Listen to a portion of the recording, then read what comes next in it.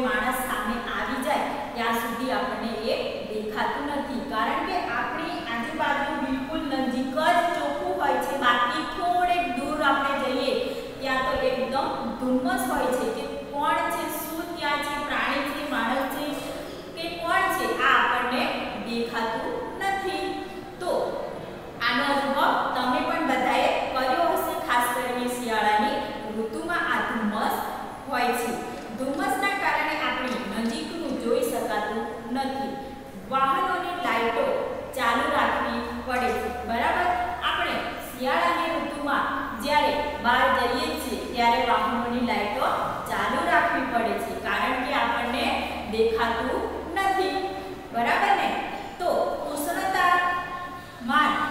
ઓચિંતુ નીચે ઉતરી જાય છે. શું થાય છે? કે ઉષ્ણતા માન એની જાતે એ નીચું થઈ જાય છે. ત્યારે હવામાં રહેલી પાણીની બાષ્પ ઠરવા માંડે છે. શું થાય છે? કે હવામાં જે પાણીની બાષ્પ એટલે કે વરાળ જતી હોય એ શું થવા માંડે છે? ઠરવા લાગે છે. અને પાણીના ઝીણા ટીપા બંધાવા લાગે છે. આપણે આગળના શીખી ગયા છે કે વાદળ ક્યાંથી આવે છે?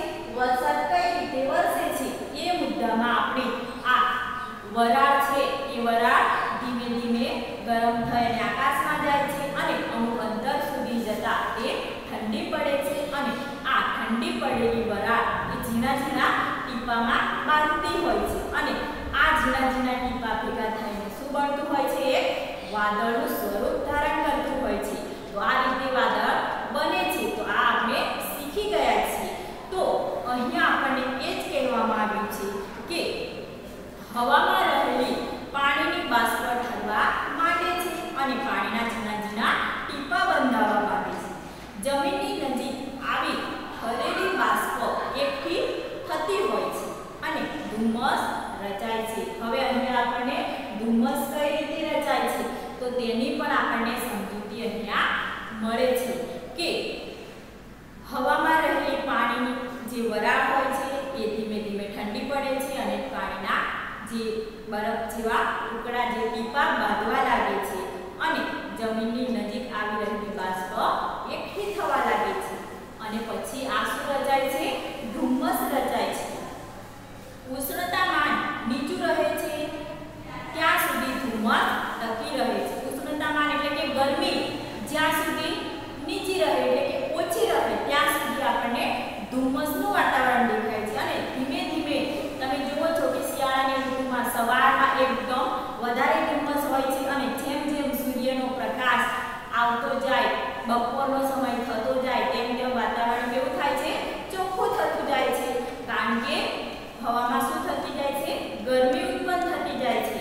જેથી આ ધુમ્મસ એ દૂર થતો જાય છે અને વાતાવરણ ચોખ્ખું થતું જાય છે ઉષ્ણતામાન એ નીચું રહે ત્યાં સુધી ધુમ્મસ ટકી રહે છે પણ ઉષ્ણતામાન વધતા તે ધીરે ધીરે પાતળું પડતું જાય છે આ ઉષ્ણતામાન વધતા ધુમ્મસ વિખેરાઈ જાય છે એટલે આપણે બધા જોઈએ છીએ કે જેમ જેમ સમય બપોરનો થતો જાય છે સૂર્યની ગરમી વધતી જાય છે તેમ તેમ આપણું વાતાવરણ કેવું થતું જાય છે એકદમ ચોખ્ખું થતું જાય છે તો અહીંયા આપણને સમજાઈ ગયું કે ધુમ્મસ કઈ રીતે રચાય છે સમજી ગયા ને તમે બધા કે ધુમ્મસ કઈ રીતે રચાતું હોય છે હવે આપણે આગળનો મુદ્દો જોઈશું કે દરિયાનું પાણી ખારું કેમ હોય છે અહીંયા આપણને પ્રશ્ન પૂછવામાં આવ્યો છે કે દરિયાનું પાણી ખારું કેમ હોય છે હવે આ આપણને સમજશું કે દરિયામાં રહેલું પાણી જે કેવું હોય છે ખારું હોય છે તો આ ખારું કેમ હોય છે એ આપણે અહીંયા સમજીશું કે દરિયાના પાણીમાં વિપુલ પ્રમાણમાં ઓગળેલું મીઠું હોય છે આ મીઠું મોટે ભાગે નદીના પાણી સાથે આવે છે દરિયાના પાણીમાં શું હોય છે કે મોટે ભાગે મીઠું ઓગળેલું હોય છે અને આ મીઠું ક્યાંથી આવે છે કે નદીના પાણી સાથે તે આવતું હોય છે ખડકો ક્ષાર ધરાવે છે વરસાદથી આ ક્ષારનું ધોવાણ થતું હોય છે અને તે નદીમાં ભળે છે ક્ષાર ક્ષાર તમે પણ બધાએ જોયો હશે કે તમે ટાંકી ભરતા હશો હમણાં પણ નળમાંથી પાણી આવતું હોય અને ટાંકી તમે ભરી અને ઢાંકણ ઉપર બંધ કરી અને ઘણા દિવસ સુધી તેને તેમાંથી પાણી કાઢો જ નહીં અને ઢાંકણ બંધ કરી અને ખાસા દિવસ સુધી અઠવાડિયા સુધી રાખો તો તમને શું દેખાય છે ઉપર જે સફેદ સફેદ શું હોય છે? ક્ષાર હોય છે. તો આ ક્ષાર એ ક્યાં ભળે છે? નદીના પાણીમાં ભળતો હોય છે. તો દરિયાની અંદરના ખડકોનો ક્ષાર પણ ક્યાં જતો હોય છે? દરિયાના પાણીમાં ભળે છે. નદીના વહેતા પાણીમાં ખૂબ ઓછા પ્રમાણમાં મીઠું હોવાથી તે ખારું લાગતું નથી. હવે આપણને અહીંયા શું પૂછવામાં આવ્યું છે કે દરિયાનું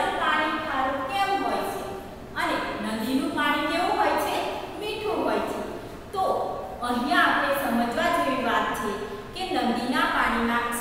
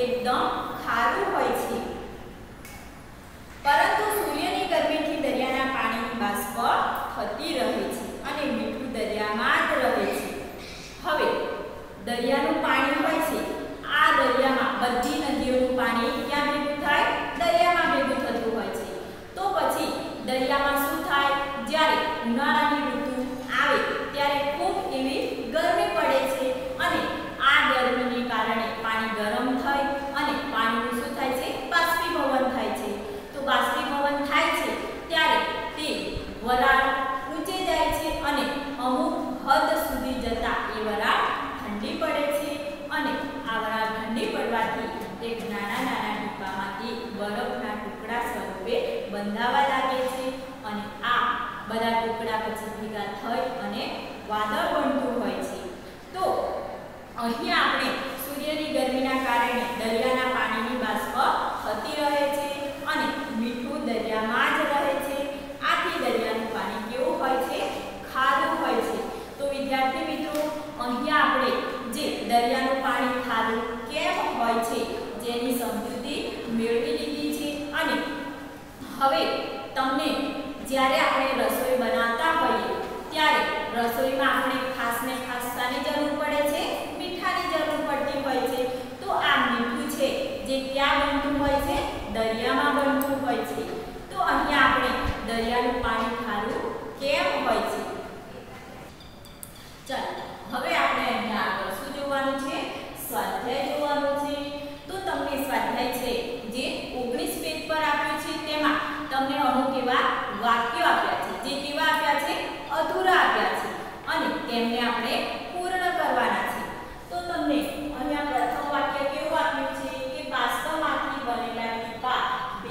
可以和家。